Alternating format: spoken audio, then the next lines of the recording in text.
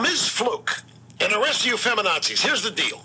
If we are going to pay for your contraceptives and thus pay for you to have sex, we want something for it.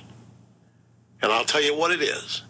We want you to post the videos online so we can all watch. This is Michael J. Fox. He's got Parkinson's disease.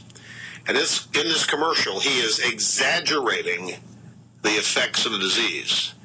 He is moving all around and shaking, and it's purely an act. This is the only time I have ever seen Michael J. Fox portray any of the symptoms of the disease he has. We're witnessing racism all this week uh, that led up to the uh, inauguration. We are being told that we have to hope he succeeds, that we have to bend over, grab the ankles, bend over forward, backward, whichever, because his father was black, because this is the first black president. We, we've just, we've got to accept this. Could we see the cute kid? Let's take a look, see who is the cute kid in the White House.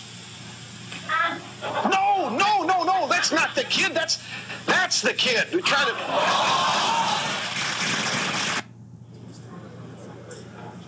Limbaugh did later apologize for some of those remarks. John Apple.